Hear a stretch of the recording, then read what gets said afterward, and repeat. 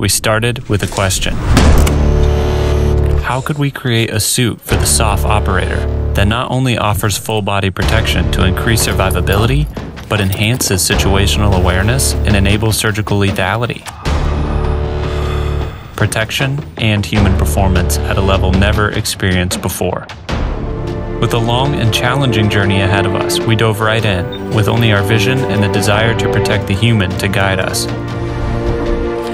Immediately, we were met with obstacles. Much of the technology needed to realize our dream had not yet been developed.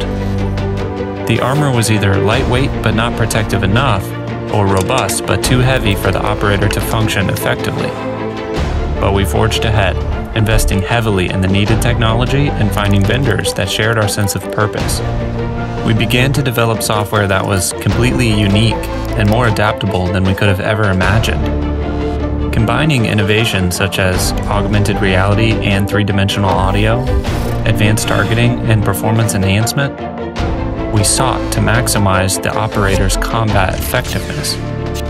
Complex data systems enabled us to remotely monitor the operator in the field, transmitting real time data off suit while providing actionable intelligence to the operator, maximizing their situational awareness. At the same time, some of the most talented and technically proficient experts in the world have been working tirelessly to bring our armored combat suit to life, pushing the boundaries of the possible. What emerged is a suit with increased body armor coverage, enhanced mobility, increased awareness, and lethality. The groundbreaking technologies that have been discovered along the way have pioneered the future of SOF warfighting, opening doors to new ideas.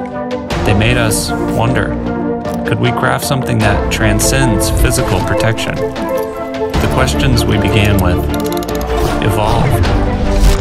We left behind the constraints of the physical domain to focus on cognition enabling the SOF warfighter operating at the edge with technologies that increase situational awareness, reduce cognitive workload, and accelerate decision making. Our shifting emphasis catapulted us in a new direction towards an empowered, networked, better informed, and more efficient operator.